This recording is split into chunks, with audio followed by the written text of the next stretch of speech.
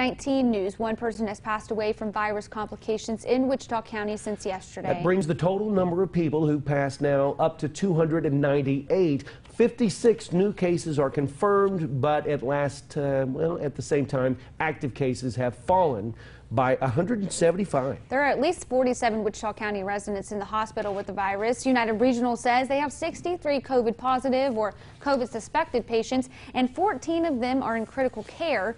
More than 500 more people have been tested since yesterday, and 230 more have recovered.